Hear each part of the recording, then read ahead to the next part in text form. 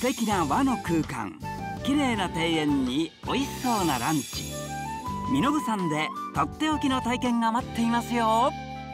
ねえゆうちゃん、はい。宿坊って泊まったことある？お寺の宿泊施設ですよね、うないです、そっか。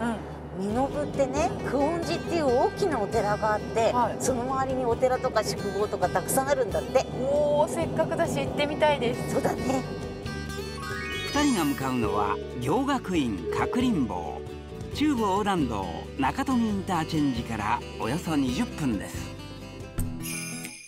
古くから信仰の場となってきた身延山には日蓮宗の総本山である久遠寺をはじめとしてなんと20以上もの寺や宿坊が点在しています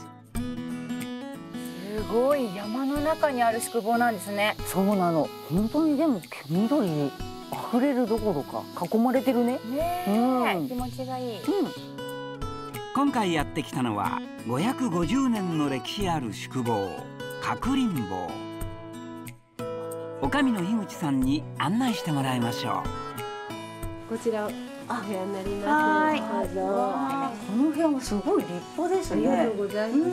昔はこの一段高くなってる上段の間っていうのはお坊さんしか泊まれなかったので、ちょっと特別なお部屋になって、お庭も一番このお部屋からが綺麗に見えるように設計されています。そうなんですね、はうこちらでは写経や度胸といったお寺ならではの体験ができるんですまた樋口さんは元の廃棄される建物をカフェに改良するなど街を盛り上げる活動も行っています。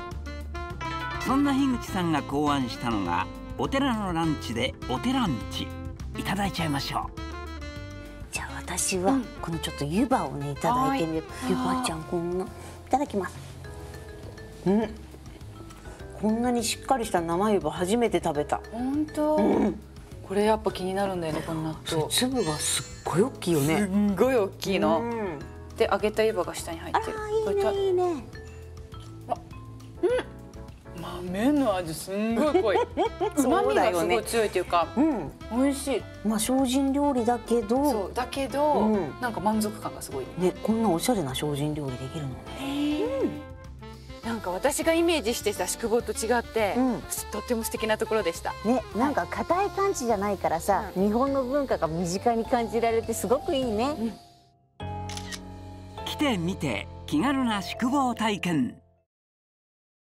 この番組はもっと安全にもっとスムーズに NEXCO 中日本の提供でお送りしました。